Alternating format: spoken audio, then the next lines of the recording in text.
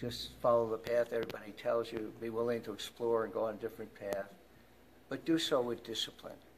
You know, it doesn't mean, if you're going, like, if you don't have to follow what others are doing, you go your own way, that doesn't give you a license to, to do nothing, I mean, to do anything. So it has to be with the discipline, and I'll talk a little about that, and things in your life, and make big decisions. Or you have to make decisions, you have to take some risks.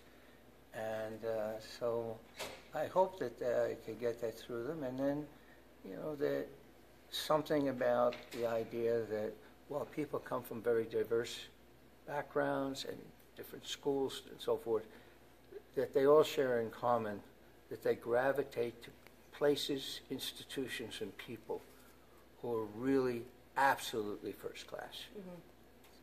You know, they're, if they're A players, they want to have A plus players on the team better than they are because mm-hmm. they'll make them better. Right. And they set standards, and those standards just get absorbed, and that's what le- leads them to the opportunities for excellence.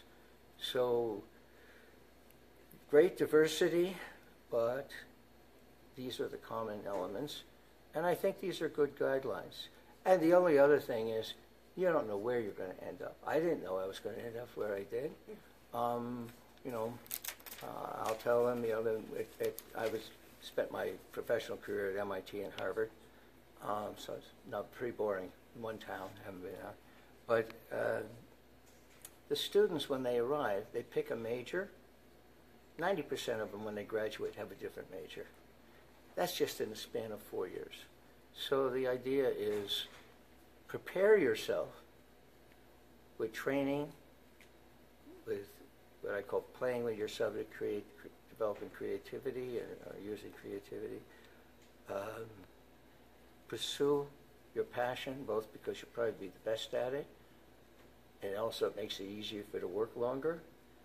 Uh, and you know what? You have a much more fun life. You know, if you're doing what you like, that's what you want.